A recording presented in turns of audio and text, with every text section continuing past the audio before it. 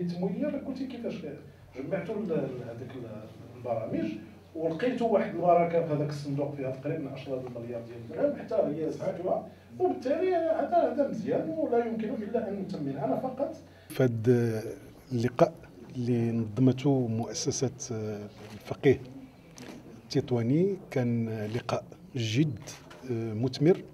تمت مناقشة مجموعة من الملفات المطروحة على الساحة الوطنية.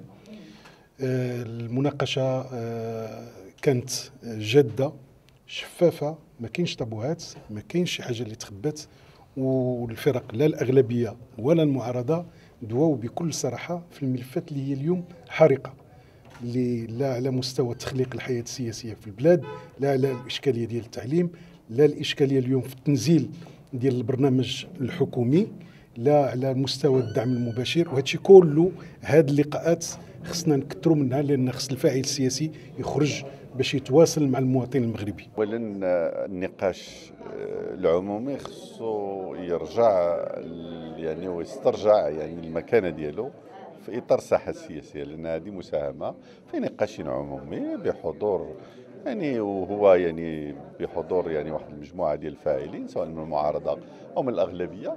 وهاد مثل هذه اللقاءات أساسية لأنه إلا خلينا يعني الفضاء فراغ راه كاين الناس اللي هما تيجيو بدون معطيات بدون يعني آه، معرفة دقيقة بالملفات إلى غير ذلك ويمكن أنهم آه، وهذا ليس فيه تأطير كذلك وتعبير عن آراء لا الاغلبيه ولا المعارضة هذه المساله الاولى المسألة الثانية وهو أنه نحن نمر بواحد المرحلة دقيقة يعني في التطور في المغرب.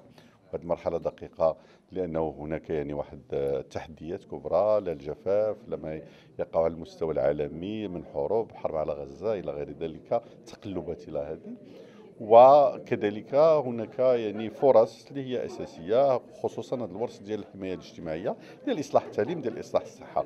هذو ثلاث اوراش مهمة جدا يجب أن ننجح فيها. نعم هناك بعض الأحيان تتوقع فيها يعني مطبات وتتوقع فيها يعني بعض التعثرات ولكن أساسي أننا ننجحوا فيها لأنه هذه مسألة تتعدى حتى يعني الفوارق ما بين المعارضة وما بين الأغلبية. هذه مسألة تتهم مسائل مجتمعية. ولهذا يعني أنه النقاش فيها والتفاعل والت...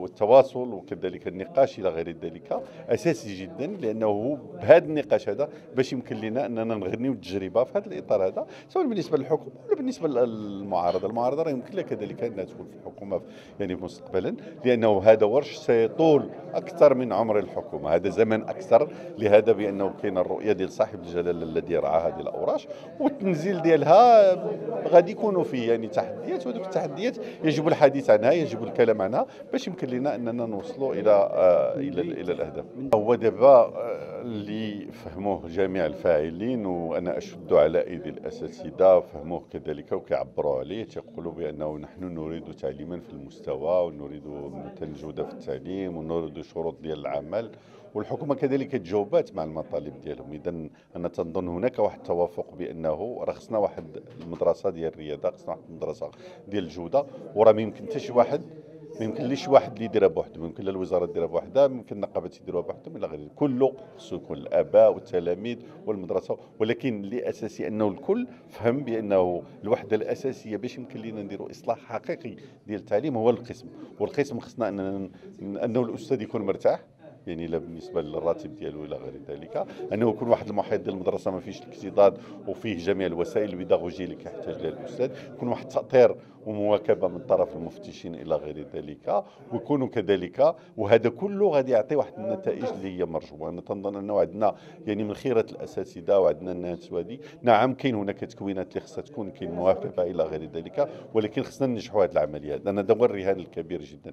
اللي اللي كانوا تعبيرات يعني الناس عندهم مطالب معينة ويريدون ان نعبر عنها راه إحنا بلد الحريات وبلد كذلك التعبير عن المطالب. اللي عنده شي مطالب راه يمكن له أنه يعبر عليها راه كاين وزارات كاين أمور وليس الإضراب هو الوسيلة الوحيدة للتعبير عن المطالب. راه يمكن له أن تكون في إطار الحوار الاجتماعي تكون في في في مسائل أخرى. شكرا. شكرا على المشاهدة. إذا أعجبك الفيديو اضغط على زر الإعجاب. لا تنسى الاشتراك في القناة وتفعيل الجرس. وتابعنا على مواقع التواصل الاجتماعي. مرحبا بك.